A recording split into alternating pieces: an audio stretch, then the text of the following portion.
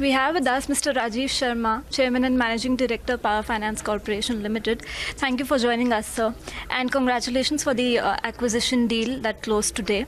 Uh, sir, could you uh, walk us through the funding uh, part of the deal? How has it been funded, uh, the internal accruals, and uh, from which financial institutions, lending institutions, have you taken the funds for? I am happy to inform you that deal has been closed today.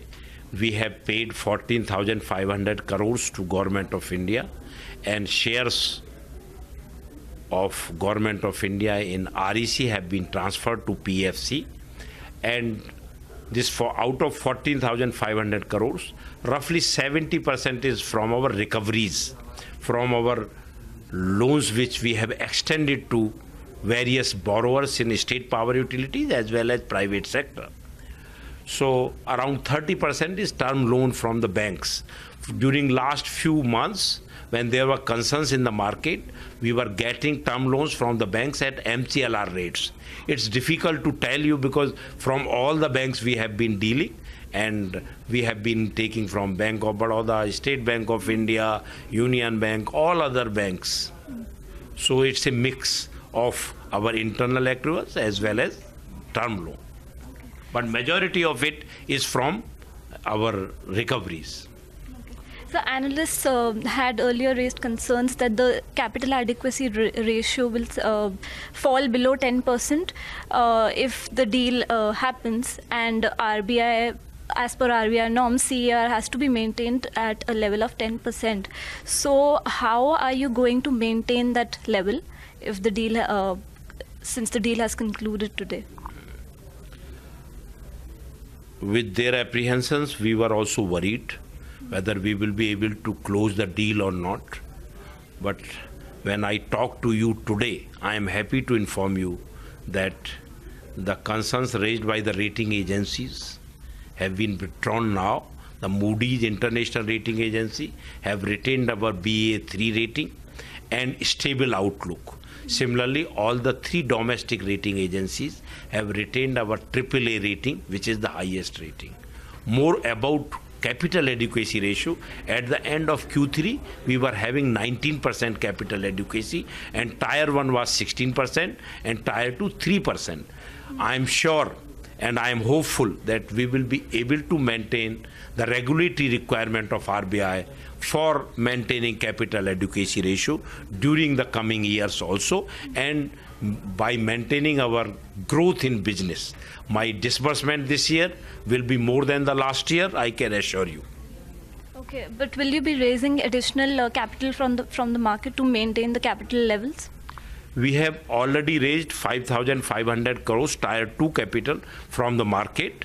During and we are taking other measures to improve our capital adequacy like state government guaranteed loans. We are trying to expedite our state government guarantees so that risk weight comes down to 20% similarly we are trying to expedite the commissioning of ongoing projects which we have funded so that risk weight comes down to 50%. But if, as and when required during the next financial year, we will explore the possibility to uh, increase our tier 1 capital. There are various measures available. We will explore and discuss and brainstorm with our experts and we will go ahead. Uh, so there, there were concerns uh, by the generator generation companies uh, that this deal will have a negative effect on the borrowings of the power distribution companies since they are already uh, burdened with dues. So what is your review on that? I can share with you that in REC and PFC, to, uh, out of the total loan book, about 83 to 84 percent is to government utilities, and there is not a single NPA in government sector neither in PFC nor in REC. So we are comfortable. They have been paying back to us. We have been hand-holding these state power utilities and through various initiatives of Government of India like Uday, they have been able to reduce their aggregate technical and commercial losses. State power utilities have been able to reduce their ACS and ARR gap also. And I am sure during next financial year also, We will continue to hold, hold handhold them through implementation of RAPDRP for which PFC is the nodal agency. States will be able to reduce their aggregate technical and commercial losses and it will improve their financial viability. So, how much is the exact uh, premium that you've made paid on the deal? We have paid total 14,500 crores uh, to government of India for their share of 52.63% in REC, which comes out uh, to around 139, 139 rupees per share. Uh, so, post the deal, uh, how, how, do you see the changes in the management of REC? We have become the promoter, and in according to shareholders' agreement, we will have a director on their board. Continuously, I will review and sit with their management so that we can have a common strategy for resolving stressed asset, to have common lending policies, to have uh, common borrowing strategies from the international market and through other instruments so that we do not compete with each other. There is total synergy in this deal because both of us have been working in the same power sector space and funding transmission, distribution, generation, private sector, public sector, joint sector. So I am sure with the coming together of REC and PFC, it's a win-win situation for both the companies and for the country also. Both the companies will be helping government of India in restoring financial viability of the power sector and will contribute towards the growth of power sector in the country. Uh, what will be the uh, will there be a merger in the future and what is your view on that since cabinet has approved acquisition of government of india shareholding in rec by PFC along with management control. So definitely merger has to take place, but government of India has to give a roadmap and will have to consult us and to prepare the roadmap that how it is to be done. But there is total synergy and it will be good for both the companies and for the government also to merge them. So do you see a merger happening in the next financial year? I think process should be started, I am sure. So one more question. Uh, so what is the situation of stressed assets uh, as of now? How, how, many have been resolved?